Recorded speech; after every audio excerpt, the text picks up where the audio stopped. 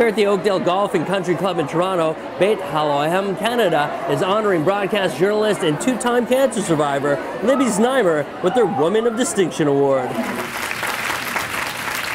I'm very happy and very moved to be here today to accept this lovely honor.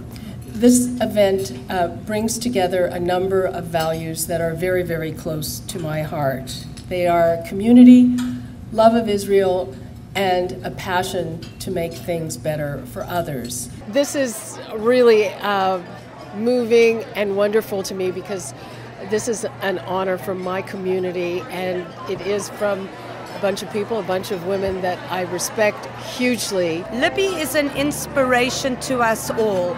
Besides her incredible journalistic accomplishments, what she's accomplished in her personal struggles and how that relates to the daily struggles that our wounded heroes face in Israel, she was just the perfect match for our organization. To me, people like Libby were always big heroes, and seeing her and learning her story.